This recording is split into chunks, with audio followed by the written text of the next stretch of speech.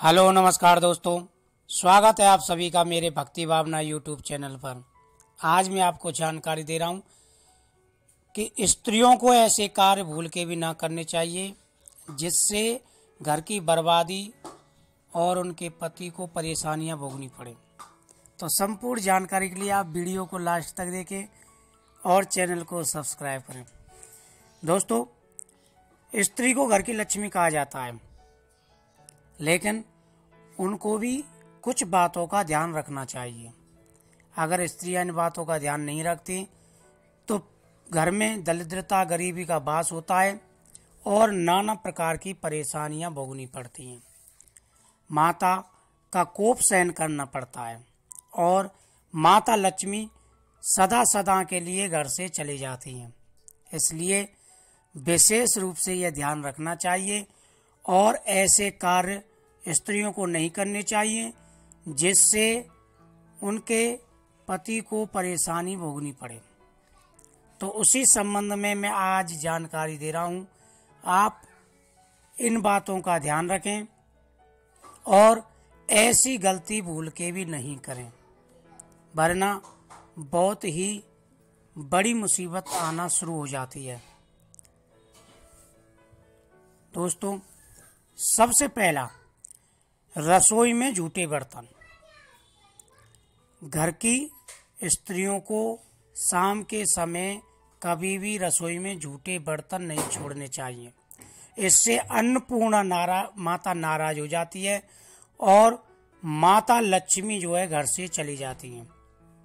तो इस चीज़ का हमेशा ध्यान रखें। जब भी रात में सोएँ तो आप बर्तनों को साफ़ करके रखें और रसोई में पोंछा आदि लगा करके, यानी रसोई को स्वस्थ करके तभी सोएँ, जिससे माता प्रसन्न होकर के आशीर्वाद दे। नंबर दो, भोजन की बर्बादी। जितनी भोजन की ज़रूरत है, उतना ही भोजन बनाएँ, ज़्यादा भोजन नहीं बनाना चाहिए। दोस्तों, बहुत से घरों में इतना भोजन बना लेते हैं कि वो भोजन कूड़े में फेंकना पड़ता है।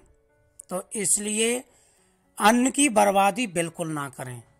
जो स्त्रियाँ ज़्यादा भोजन बनाती और अन्न की बर्बादी करती हैं, वहाँ भी माता लक्ष्मी का वास नहीं होता है। माता अन्नपूर्णा नाराज़ हो जाती हैं और घर में सदा ही तंगी सहनी पड़ती है। तो इसलिए हमेशा ध्यान रखें कि अगर खाना बच जाए तो वह किसी बर्तन में डाल करके पक्षियों के लिए रख दें या गौ माता के लिए दे दें। झूठा खाना गौ माता को ना दें। वह आप किसी भी, जैसे मच्छियाँ हो गई या कोए हो गए, ऐसे इनको खिला दें और अच्छा खाना है तो गौ माता को दे दें। नंबर तीसरा, झाड़ू में लात मारना। काफ़ी लेडीज़ होती हैं जो पैर से झाड़ू को साइड में करती हैं। तो इस चीज़ का हमेशा ध्यान रखें कि झाड़ू में कभी लात नहीं मारनी चाहिए, क्योंकि वास्तु दोष के हिसाब से झाड़ू के अंदर माता लक्ष्मी का वास होता है। और घर के अंदर बहुत ही महत्वपूर्ण होता है झाड़ू का स्थान। अगर झाड़ू में लात मार के साइड में करते हैं तो समझ लीजिए आप घर में बर्बादी को निमंत्रण दे रहे हैं।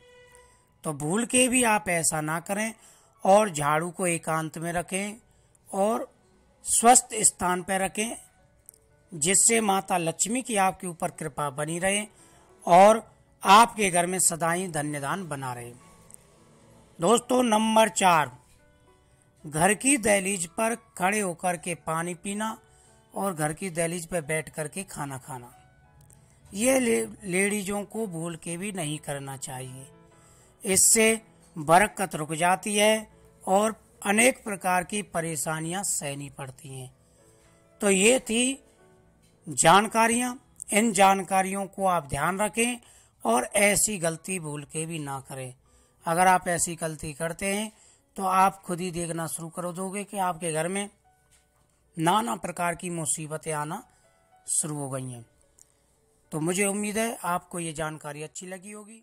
जानकारी अच्छी लगी लाइक वीडियो को लाइक शेयर ज़रूर करें। जय माता दी।